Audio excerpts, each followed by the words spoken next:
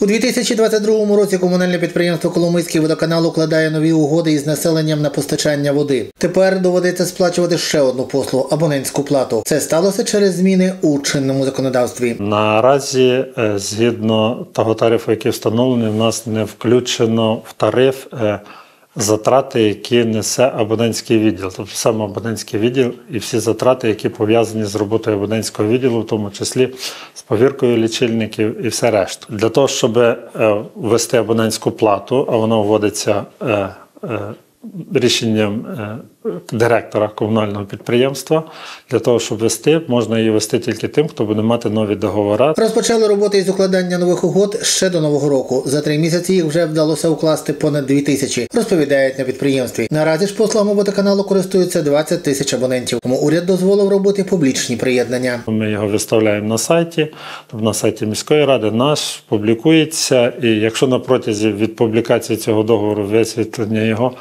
Е, На протязі місяця людина ну, не заперечує проти того або не ставить якісь, будемо казати, заперечення до умов такого договору, він вважається автоматично укладеним.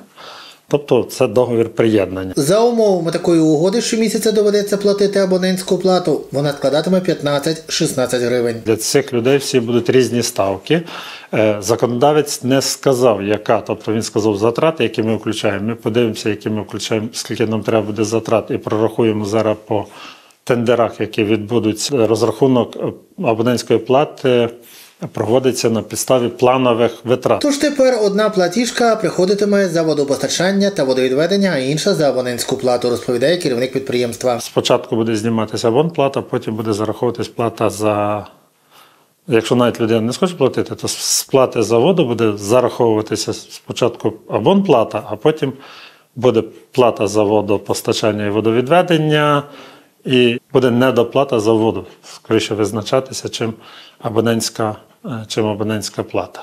Так, що людина може відмовитися, то зовсім що я не хочу, такого ну, неможливо. Так що вже в лютому коломияни повинні будуть сплачувати абонентську плату за попередній місяць. З Коломиї Іван Малецький, Галина Романчук, телерадіокомпанія Раї.